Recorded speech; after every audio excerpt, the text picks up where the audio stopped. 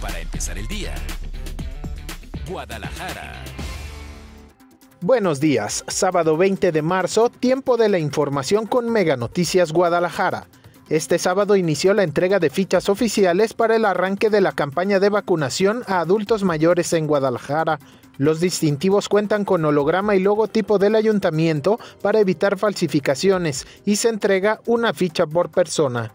En el servicio drive-thru del centro universitario Quad son entregadas dos fichas por vehículo. La aplicación de las dosis iniciará a las 8 de la mañana y terminará hasta que terminen los biológicos diarios.